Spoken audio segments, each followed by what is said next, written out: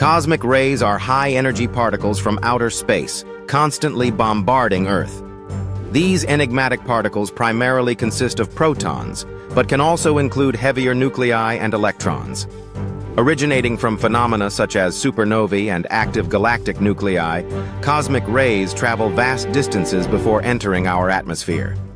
Their study is crucial, as they can provide insights into the fundamental processes of the universe, including the origins of matter and energy.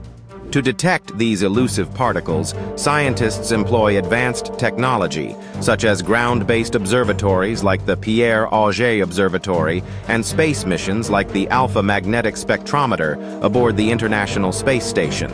These instruments analyze cosmic rays' energy, charge, and origin, helping researchers unravel their mysteries.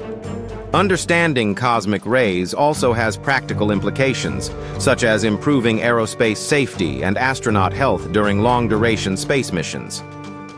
By analyzing cosmic rays, we not only enhance our knowledge of the universe's workings, but also inspire curiosity about the cosmos. Like, share, and follow for more fascinating insights into space exploration.